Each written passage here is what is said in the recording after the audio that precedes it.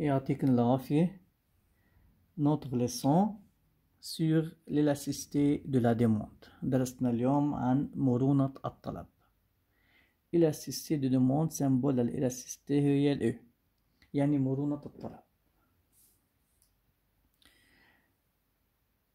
يعني بدنا نشوف نحن قلنا السعر بيتغير مع الطلب. بدنا نشوف أيمتى السعر السعر بيتغير مع الطلب. هل بيتغير مثله؟ هل بيتغير أسرع منه؟ هيك يعني حنشوف كيف بيتغير السعر بالنسبة للطلب soit dès la demande la fonction de demande et P est le prix D هي demande fonction de la demande ou le P هو le prix دايما toujours la demande est en fonction du prix on appelle élasticité de demande élasticité de demande c'est EP EP égale P fois D prime P sur 2P c'est la règle. EP égale P fois D prime P sur 2P. EP, c'est élasticité de demande. P, c'est le prix. D prime P, c'est la dérivée de la fonction de demande. DP, c'est la fonction de demande. Yani, élasticité de demande égale le prix fois dérivée de la demande sur la demande. Exemple. On a la fonction de P égale 200 moins 2P, c'est une fonction de demande en fonction de P qui est le prix. Fonction. Trouver élasticité de demande EP. Il faut trouver EP. D'abord, j'écris la règle EP égale P fois dérivée de la demande d'P sur dP. D'abord, il faut trouver primes P. Primes P. Dériver la demande. On a 2P. Pour trouver primes P, il faut euh, trouver la dérivée de cette fonction. Il faut calculer la dérivée de cette fonction, tout simplement. D prime P, c'est dériver la D, la D 200, dériver à la 0, moins 2P, c'est dériver à la moins 2. Donc, on obtient égal P fois D prime P, c'est moins 2, dp c'est 200 moins 2p. On obtient p fois moins 2 moins 2p sur 200 moins 2p. C'est quoi? C'est élasticité de demande EP. C'est tout simplement. C'est un exemple pour faire comment calculer ou bien comment trouver élasticité de demande EP. Remarque que l'élasticité EP donne la pourcentage de variation de la demande pour une augmentation de 1% du prix P. C'est-à-dire, euh, euh, euh, je connaître comment augmente ou bien comment diminue la demande lorsque le prix augmente de 1%. يعني هو الزيادة أو النقصان بالكمية المطلوبة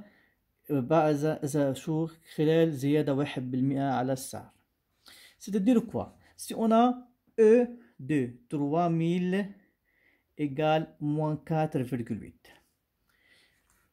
EP c'est-à-dire donc 3000 c'est le P le prix que, suffit, euh, que, que signifie ça économiquement économiquement كيف نعبر عنها économiquement Regardez bien. Euh, je dis si le prix augmente de 1%, toujours euh, si le prix augmente de 1%, à partir du prix 3000, la demande diminue de 4,8%. Pourquoi je dis diminue? Car on a les signes moins. Parce qu'on a un moins diminue. Je répète, toujours, toujours, je dis, si le prix augmente de 1%, à partir du prix, quel prix on a? Euh, Par exemple, 3000, la demande moins, c'est-à-dire la demande diminue de 4,8%.